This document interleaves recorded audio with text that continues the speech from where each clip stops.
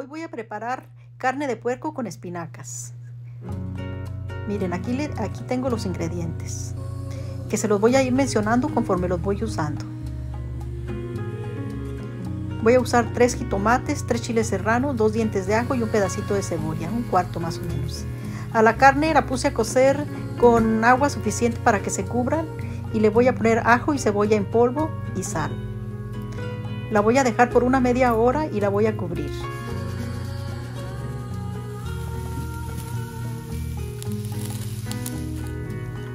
Ya pasó media hora, la voy a destapar para que se vaya consumiendo el líquido. Ya están los chiles, la cebolla y los ajos. Lo voy a poner en la licuadora.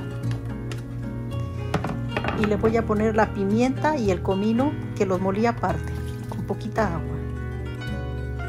También voy a agregar los tres jitomates.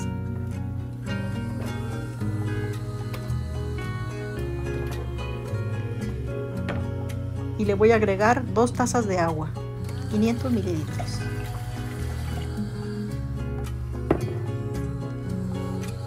Y le, le agrego la sal.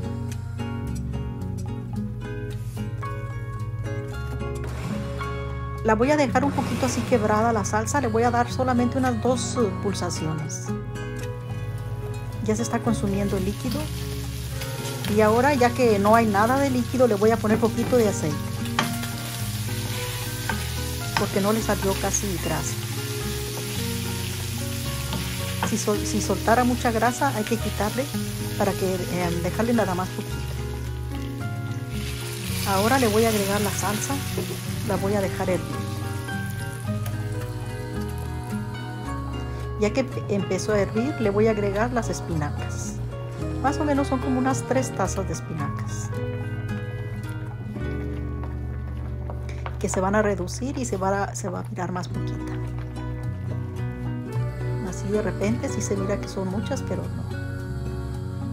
Lo voy a dejar unos 3 a 4 minutos.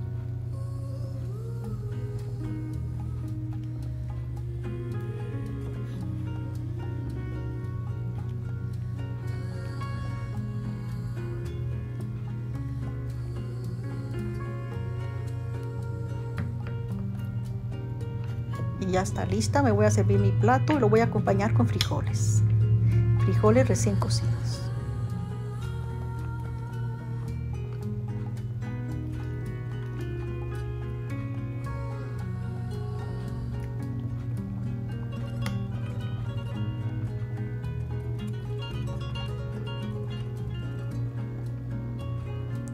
Muchas gracias.